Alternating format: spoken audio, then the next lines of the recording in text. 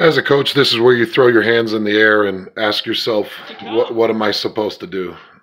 Scarver is returning a kick. It's a return right, and he's going to dive into the pile right here. Okay, everything's good. Well, he's going to continue to drive his feet, and you're looking for forward progress. Officials aren't blowing the whistle because he's still churning his feet and he's still getting forward progress. Number 35 is going to come into this pile and basically just put his hand on the ball. At that point, Scarver either has to get down, which sometimes you can't get down because defenders are holding you up in an effort to strip. But he's got to try to get down, and if not, he's got to make sure he's tucking that ball with both hands, clamping down tight. But the last thing you can't do is let number 35 rip this thing out of your hands. Utah State was up 35 to 14 at one point.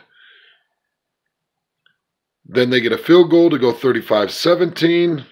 Then their backup quarterback comes in, scores another touchdown to get them to 24.